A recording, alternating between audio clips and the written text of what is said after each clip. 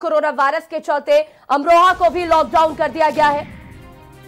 24 और 25 मार्च को अमरोहा लॉकडाउन रहेगा। सिर्फ़ इमरजेंसी सेवा के लिए खुलेंगी दुकानें। आपको बता दें कि अनावश्यक रूप से कोई बाहर न निकले, एसडीएम ने आदेश जारी किया है।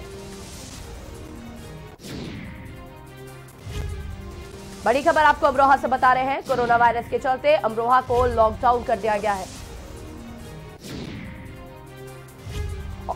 और इसी खबर पर ज़्यादा जानकारी के साथ हमारे संवाददाता मोहम्मद माजिद जुड़ चुके हैं। माजिद आपसे जानना चाहेंगे कि अब अमरोहा को भी लॉकडाउन कर दिया गया है। अ, क्या लोग इसका पालन कर रहे हैं?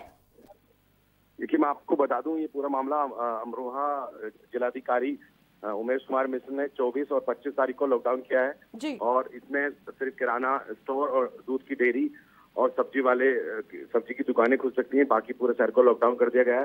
प्राइवेट वाहन लेकर कोई भी बाहर नहीं निकल सकता है। फ़िलहाल पूरा लॉकडाउन है अमरोहा।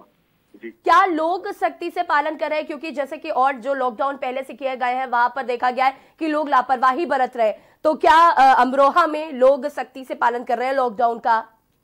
देखिए पुलिस प्रशासन पूरी तरह से मुस्तैद है और रोड पर निकला हुआ है। अगर कोई प्राइवेट वाहन लोकल निकल रहा है तो उससे पूछताछ की जा रही है। अगर वो इमरजेंसी कहीं जा रहा है किसी के उसके रिश्तेदार की स्वास्थ्य खराब है या इस तरह का मामला है तो उन्हें निकलने दिया जा रहा है। बाकी नगर प्रशासन किसी को निकलने नहीं दिया जा रहा है।